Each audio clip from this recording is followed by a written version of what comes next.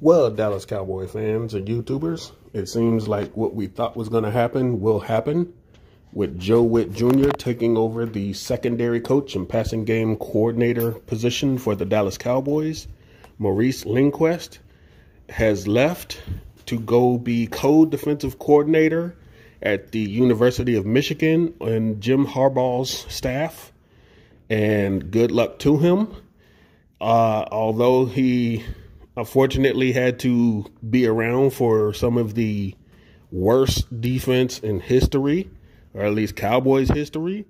He also got to see the rise of Donovan Wilson as a true safety, but he had to see a University of Michigan player in Jourdan Lewis have possibly his worst moment at the worst possible time as he becomes a free agent.